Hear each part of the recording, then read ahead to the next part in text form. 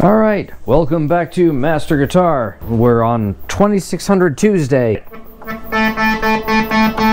Now you'll notice that I got a little bit of my attack on my envelope is up just a touch to make the notes kind of fade in. That's the way it's set right now on the ADSR.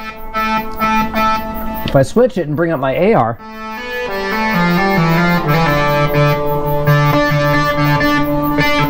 Remember, you don't have to have your AR on. It blends in nicely, but, you know.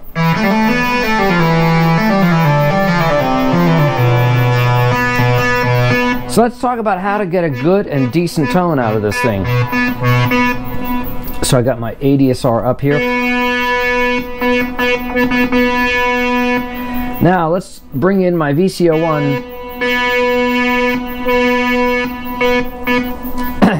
My sync is off, by the way, and I'm on the 4012. I find I stay in the 4012 a lot, which surprises me. I thought I'd be in the 4072. But I really am not hearing much difference between the 4012 and the 4072.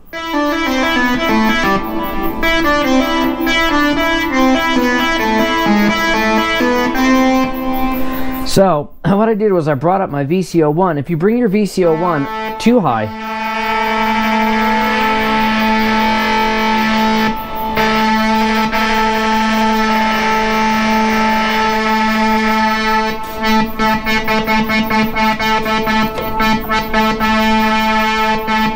See, it's kind of acting almost like a ring mod all its own. So, so what I'll do is I'll bring my VCO1 just up a touch, and that's it. VCO2,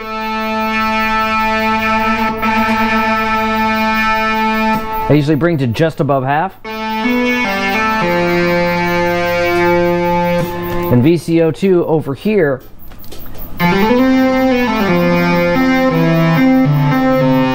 I bring all the way up.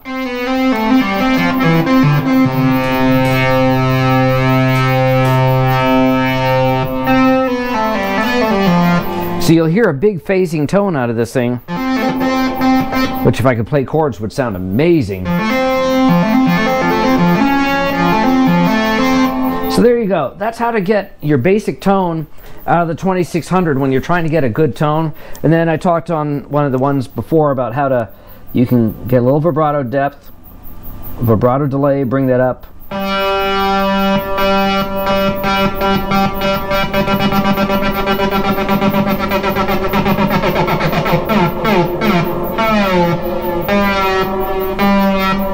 And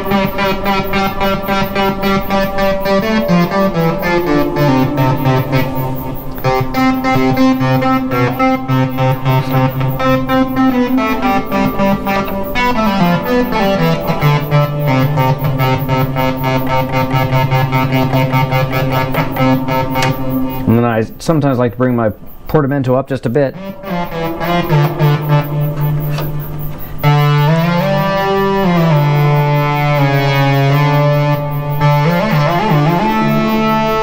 And bring that to taste between somewhere between minimum and the full one quarter there.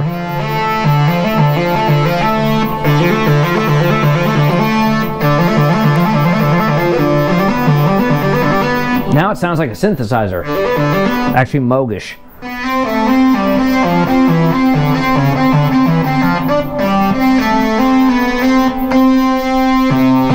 All right, so I just showed you step by step how to build a tone. Really easy, really fun, and those who paid attention to one of my earlier settings will recognize this as the Lucky Man sound.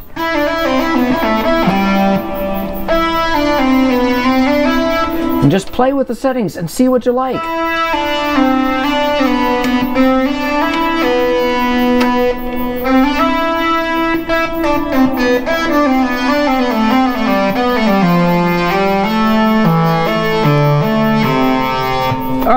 There you go. We'll see you next time.